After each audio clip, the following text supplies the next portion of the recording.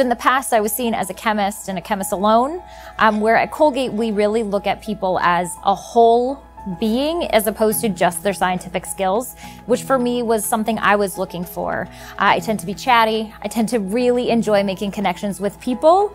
Um, and here we celebrate that. So to be successful in our organization, you can't just be good at your science.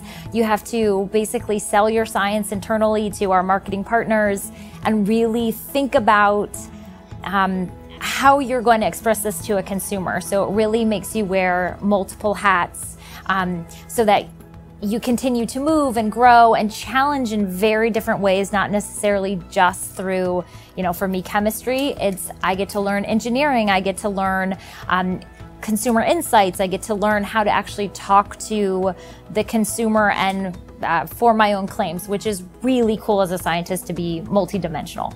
I think the global nature of our business is probably one of the things that has attracted me to stay here at Colgate and really every day has some new instance of learning or new opportunity to engage with a different culture or a different business opportunity. I had been in Colgate uh, for 25 years, you know, once because I had had the opportunity to to grow. I feel that every two, three years I'm in a new job, like I win new challenges and, and, new opportunities for learning and in IT. So obviously, um, you know, technology is very important to me. And even though we're a consumer goods company, IT has a very big uh, footprint and we have been able to work in cutting edge technologies.